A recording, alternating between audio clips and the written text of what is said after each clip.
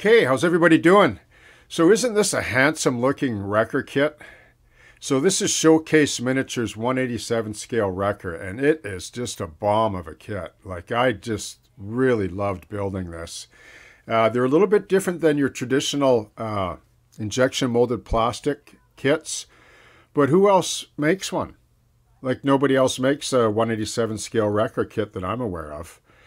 And over a period of a couple of weeks and a few hours each evening, I was able to turn this out, and I it was a pure joy to build. It really was. So if you're looking for a, a wrecker for your model train layout or your diorama, Showcase Miniatures is that. Like I don't think anybody else offers a kit of this caliber and quality. So what I'm going to do is I'm going to take you into the review following this, and I'm going to cover as much as I can on the whole build from the start to finish. Just for those that you know maybe might be considering one of Showcase Miniatures mixed media uh, kits, and they're just really really nice. Okay, and just for those of you that are wondering, um, I picked up my copy at Otter Valley Trains. They have loads in stock. They carry most of their products. Uh, here in Canada. So if you're looking for one, try out OVR trains, okay? So what I want to do here is I want to talk about this Showcase Miniatures HO Scale 187 Brig or Brigadier 9500 wrecker. Um, this is a mixed media or multimedia kit comprised of resin, two-part resin, white metal, and photo etch, and a little bit of clear poly vacuum form for the window, but they also give you the option with some uh, laser cut styrene.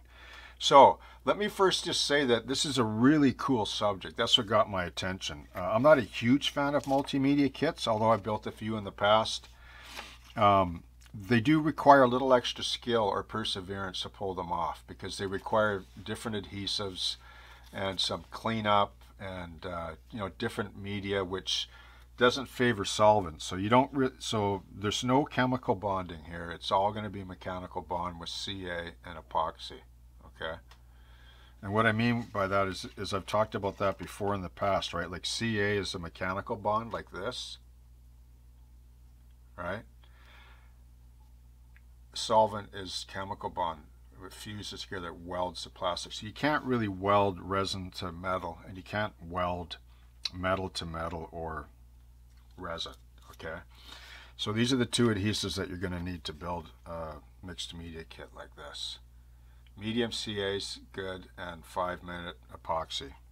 So a couple things I had when I first looked at the kit uh, that concerned me, but I was able to remedy it, and I'll tell you why, because this is important. When I pulled out the, the uh, wrecker platformer bed here, it had a bit of a twist in it.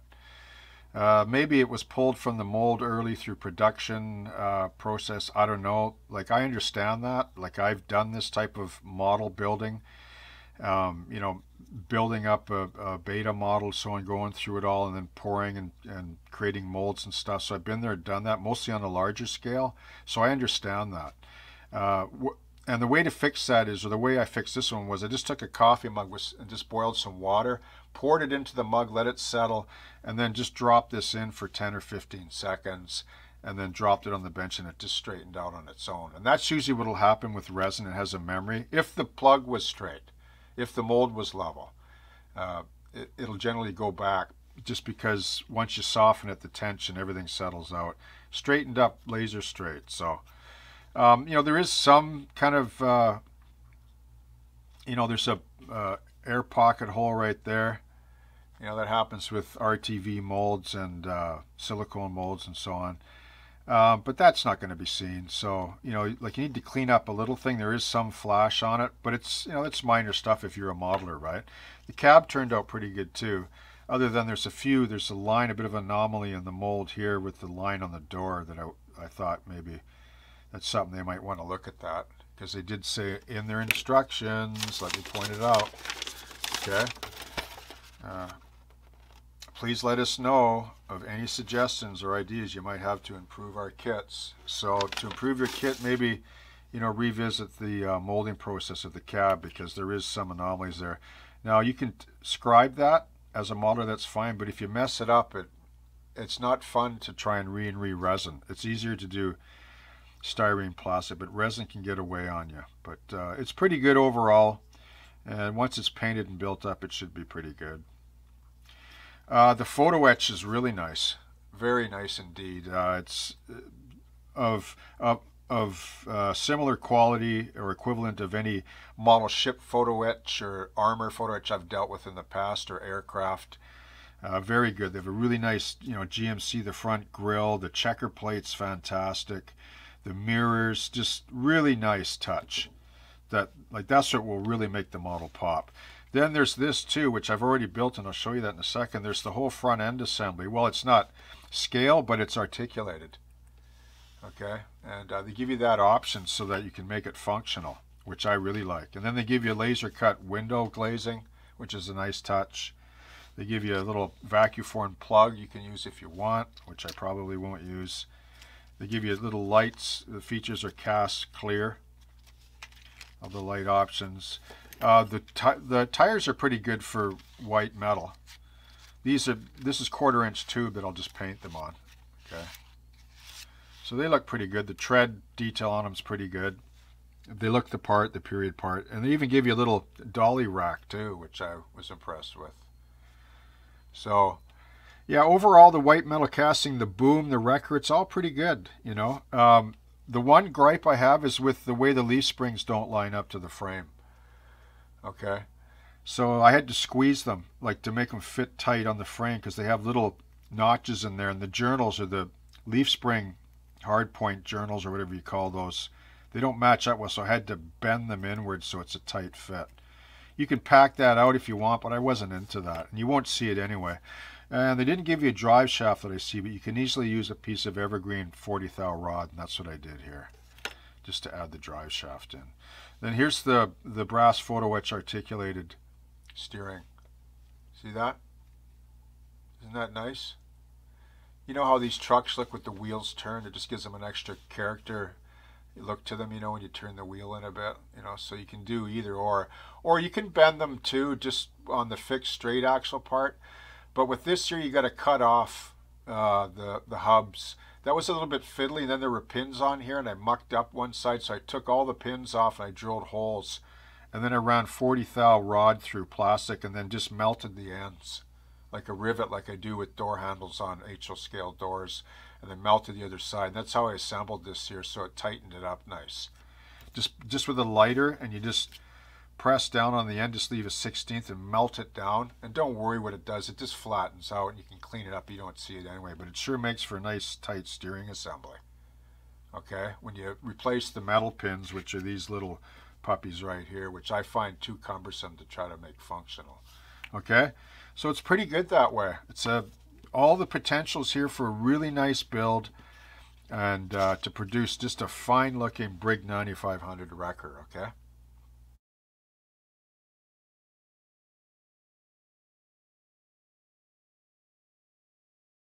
Okay, so I just want to insert this just before I move forward into the build coverage. I did use the term briefly, sort of coverage, but I decided as I began to build this kit up, I began to realize that it's just too great an opportunity to let go, to not super detail it. So, because it has so much potential anyway, you know, um, just due to the rarity of the subject matter and just really the overall quality of the kit, which I think is quite good, and the potential to improve upon it is even better. So uh, what I did was is I tried to cover as much as I could uh, in the following tutorial. It's a bit lengthy, I hope you don't mind. But uh, you don't always see reviews, extensive reviews on these kind of things, so I thought here was a good opportunity to do that. And you can see some of the work I've done so far, which I cover all of this subsequently, okay?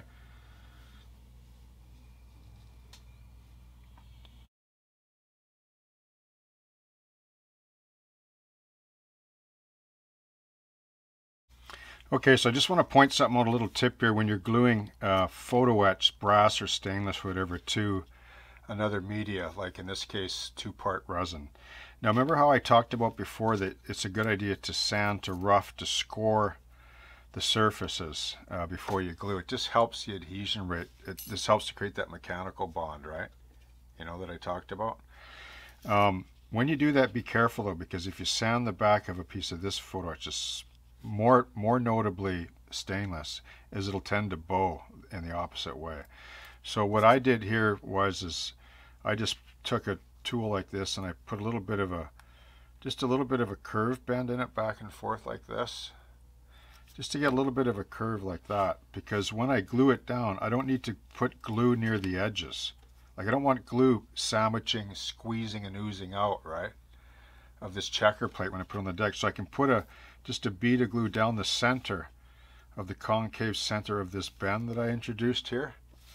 Okay this is a little tip that'll tighten all the other edges around it. So when you push it down you glue it down it's like a spring. Okay and it'll fit tight like the edges all around, okay?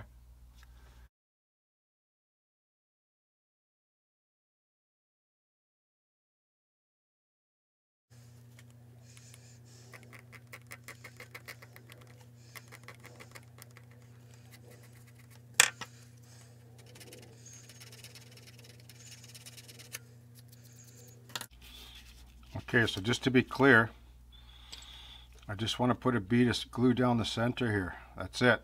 don't, none on the sides. Otherwise you'll end up with a mess. Okay, that'll be impossible to clean up, okay? I'll use some medium CA here.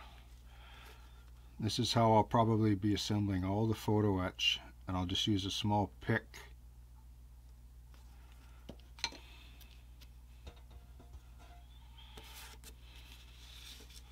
for the smaller pieces.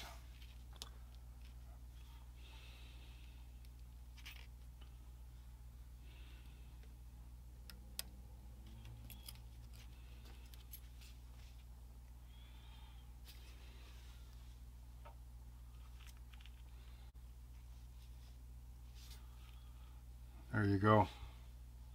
See how clean that is?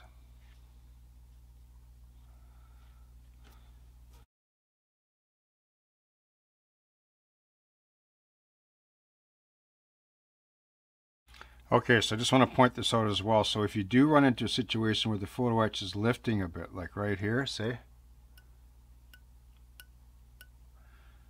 you just take some super thin CA, which is the blue bottle, super thin.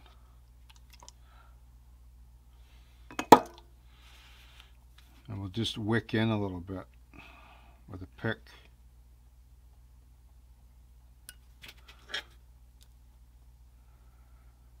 Like that, okay?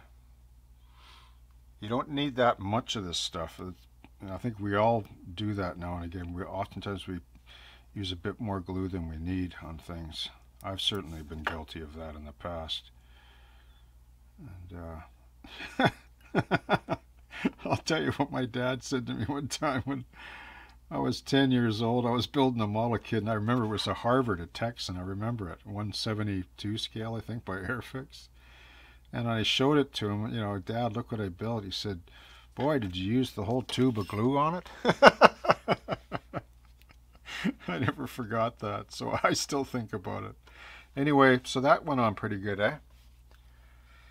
That looks really good, that checker plate on there. It's going to make for a really nice wrecker deck, that.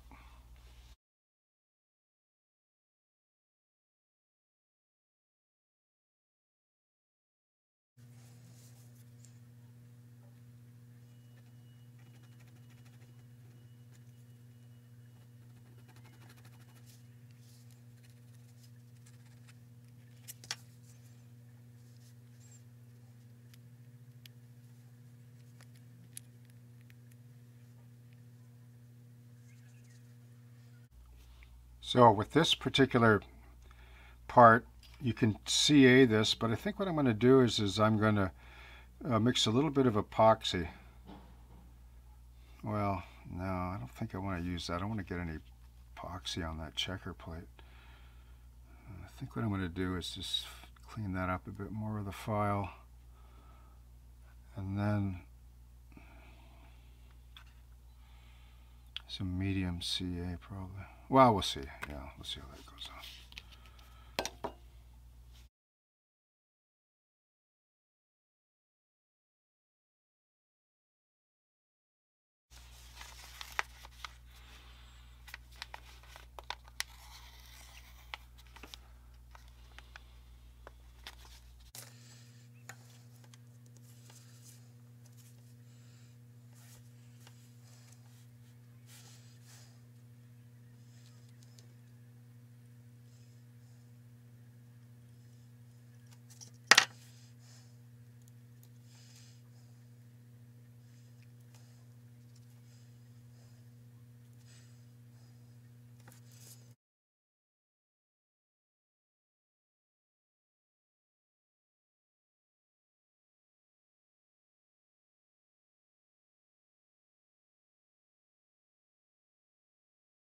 Okay, so now I want to set up the booms, and they're a little bit tricky, and I'll tell you why.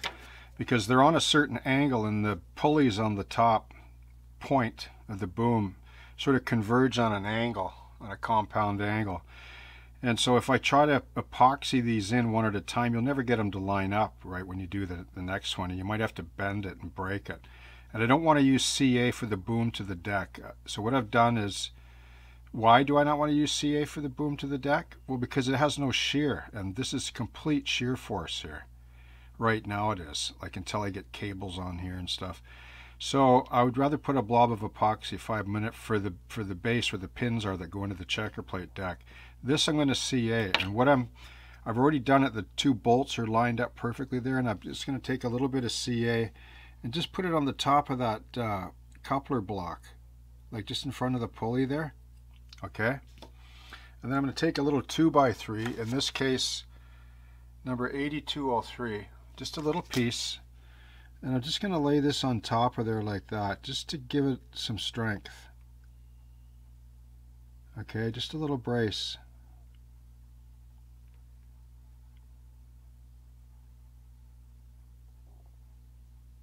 Come on That way, when I lift that off of there, it'll hold together better. And then I can take it off as one unit, it'll be self-aligning now, and I can put five minute epoxy, right?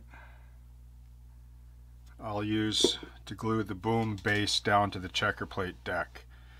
All right, so you see how I'm using CA and epoxy? Where there's a lot of shear, I want to use epoxy. Where there's really little shear CA works fine.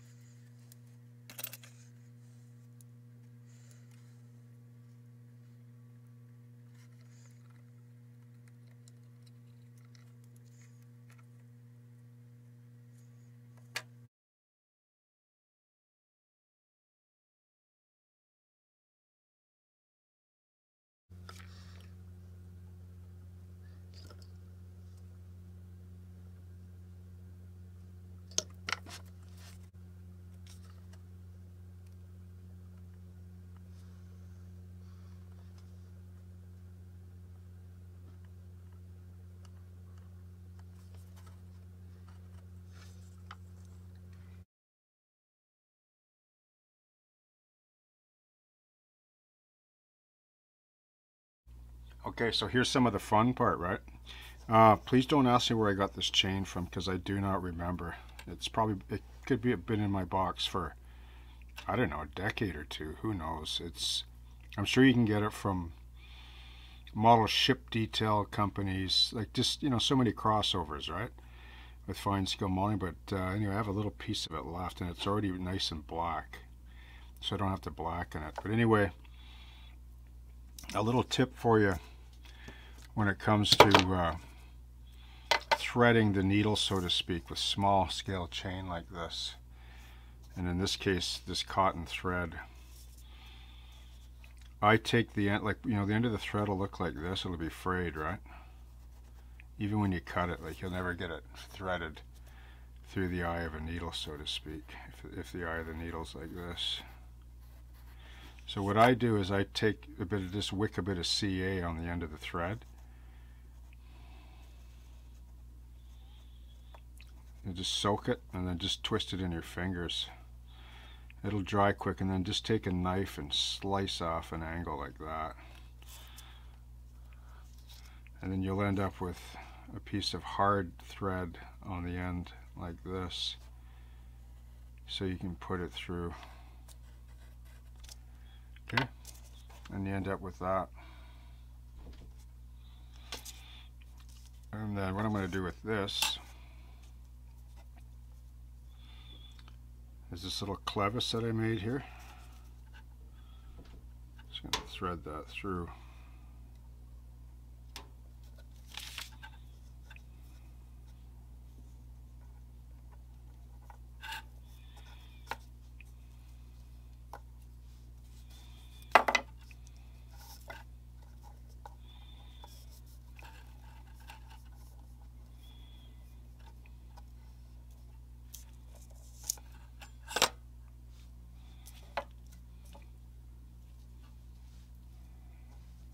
tie a knot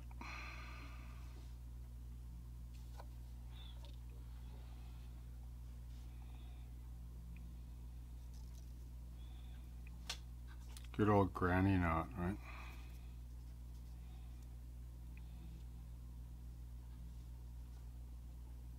it's from all my ship rigging days remember that so there I can put a spot of CA on there so that'll just double as a little cable link or whatever. And then what I'll do is I'll run that over that notch in the bar there. I'll, and I'll cut that chain off. I'll run another thread in and then I'll thread it through that hole that I drilled previously. Pull it tight, put a spot of CA on it, and then boom, and I'll have a nice tight chain on the wrecker. Like that, see.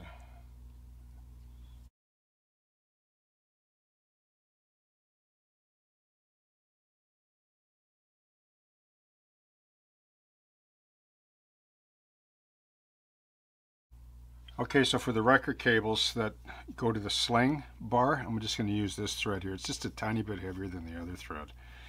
So it uh, seems to work pretty good. And then what I do is I just shred it and wrap it around the, the, the pulley here a couple times. Like that, see? Just thread it through. And then I'm going to pull this over the top here, take a dab of CA, medium CA. Put it inside the track of the wheel there pull that tight. I'm going to do the same for this one too. On the end of the boom.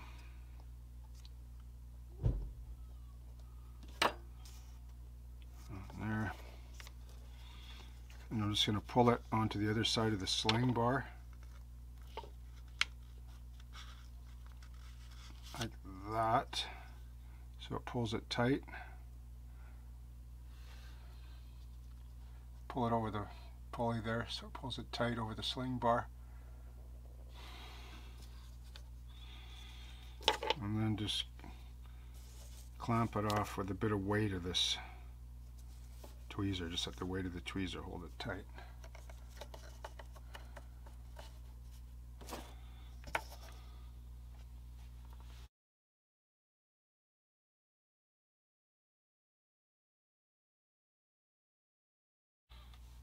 Okay, so I just want to show you how to drill a delicate hole here. Uh, in this case, in the sling bar that goes on the back of this wrecker deck. Now you can just glue it to these, see these little hard points or journals or whatever, or brackets, whatever you want to call them, that are welded onto the back here. So they sit between here. Now you can drill these out. You can drill out these uh, very carefully if you have a nice sharp little drill bit. I'll just show you here. And you're careful. Geesh. Um, and you're careful about it. So that way you can pin it if you want, right? Like this is the fine scale thing, but um, sometimes it's nice to do that because when you go to glue white metal to resin, it doesn't hold very well. It's just the nature of the two materials, right? So uh, I want to drill two holes in this bar because I want to put a tab on there with a hole in it where I can tie the cable to because it's the way it is on the prototype. I don't believe there's an actual big heavy rubber sling on this. I mean there may be but I didn't see any in the photos. And I just want to show you how uh, you go about drilling a tiny hole like this. Okay. It's not that difficult really. Um, I'll show you how to get it started. So I just take a block of wood like this, clamp with a C-clamp onto my little cutting jig here that I made up that most of you are familiar with. And then I just take a number 11 blade and I just ream a, a starter hole like that first. It's just easier, you can see it better and control it better. And the tip of the blade seems to start the hole well. And this is a soft white metal, right? And then you just chase that little hole with the appropriate drill bit.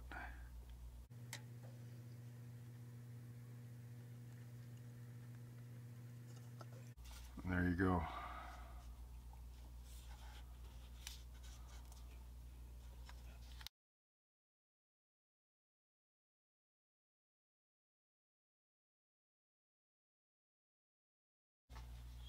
Okay, so here's a little bit of a reason for my madness. Why would he go to the trouble to drill little holes like that? You know, and there's just, nobody's going to see it anyway. Well, true, but some do. And this is a really good example by doing this on how you fasten parts properly, like in the museum culture. Like they'll never accept a model that's been like a metal part CA to resin. Why? Because if you blow on it, it'll fall off. Okay, so if you want to attach another different media to a resin or metal, in this case plastic, let's say, well you can see here, so I drilled a hole, right?